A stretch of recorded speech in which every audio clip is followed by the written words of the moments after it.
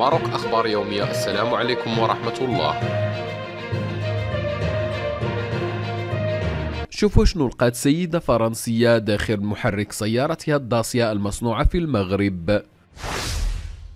ادعت سيدة فرنسية أنها عثرت على بيضة داخل محرك سيارة من نوع داسيا تم صنعها في المغرب وخلقت جدلا وموجة سخرية كبيرة على مواقع التواصل الاجتماعي.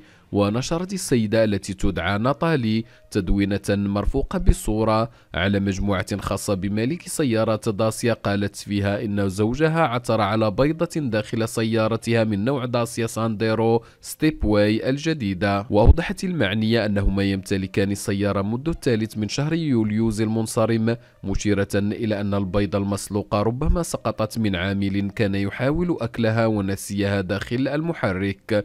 وقد خلقت تدوينة المعنية موجة سخرية كبيرة بعدما تفاعل معها عدد كبير من رواد مواقع التواصل.